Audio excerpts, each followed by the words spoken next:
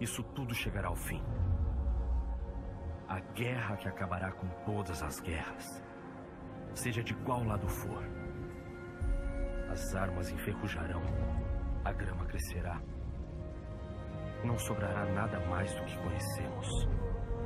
A terra irá se regenerar, como sempre acontece com todas as coisas.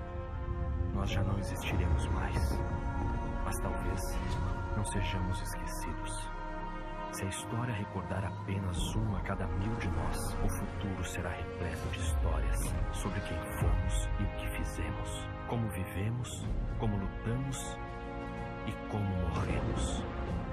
Quando tudo isso acabar e a guerra for vencida, eles se lembrarão de nós. Mas até esse dia chegar, nós resistiremos, olharemos nos olhos da morte e lutaremos até o fim.